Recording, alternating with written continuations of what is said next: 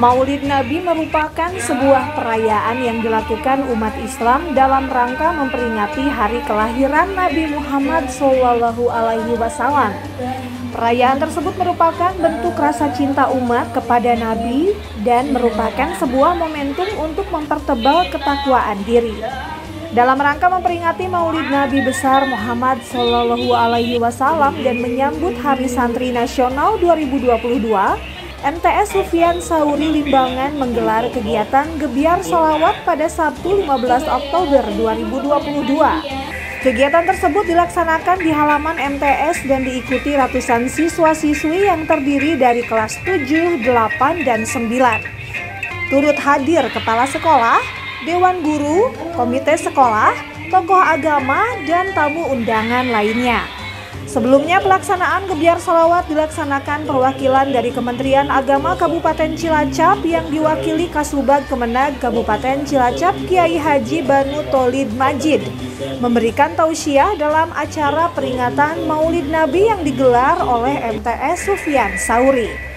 Di dalam tausiahnya, Kiai Haji Banu Tolid menyampaikan siapa yang bersalawat kepada Nabi besar Muhammad Sallallahu Alaihi Wasallam maka Allah Subhanahu wa taala akan membalas dengan 10 kebaikan.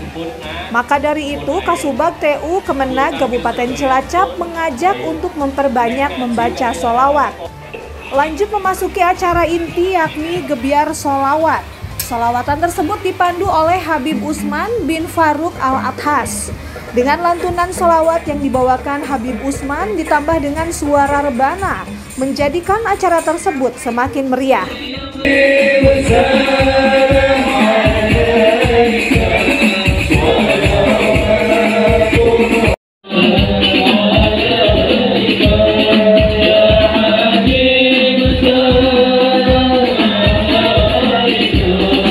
Kemeriahan pun juga semakin memuncak dengan adanya fashion show yang ditampilkan oleh siswi-siswi MTS Sufyan Sauri. Uh, Alhamdulillah kita pada hari ini peringatan Maulid Nabi Muhammad SAW sekaligus kebiar selawat dalam rangka menyambut Hari Santri Nasional. Alhamdulillah semuanya bisa sukses dan berjalan lancar seperti itu. Ya.